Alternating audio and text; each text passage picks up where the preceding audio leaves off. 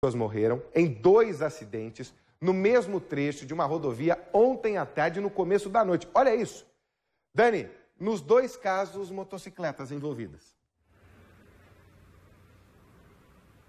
Exatamente. Nos dois casos, Rivaroli, as vítimas estavam em motocicletas. Ontem mesmo a gente trouxe um balanço da Polícia Rodoviária Federal, né?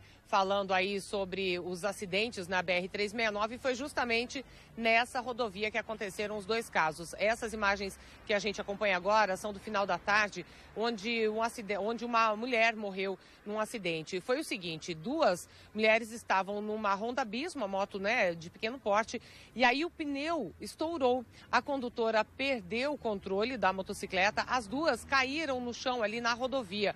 Só que um caminhão vinha logo atrás. E aí o, motor, o caminhão, o motorista do caminhão, ele conseguiu desviar de uma dessas mulheres e acabou atropelando a outra. Mesmo a que é, sobreviveu foi levada aí para o hospital, né, com vários ferimentos, escoriações, mas a que estava na garupa, uma mulher de 30 anos, não resistiu e acabou morrendo. No outro caso, também na BR-369, só que aí entre Cambé e Rolândia, um motociclista de 18 anos perdeu a vida.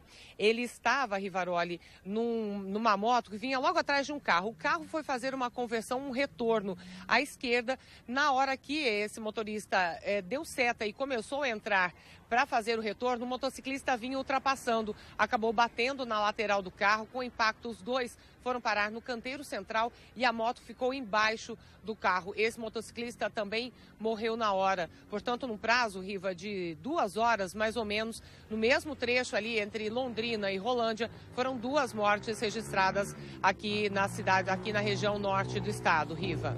Tá aí você vendo a BR-369, é perigosa essa rodovia, dois acidentes em poucas horas, com duas pessoas aí sendo vitimadas. Que coisa impressionante, gente. Quem, o que nós vamos fazer aí na 369? É um acidente atrás do outro.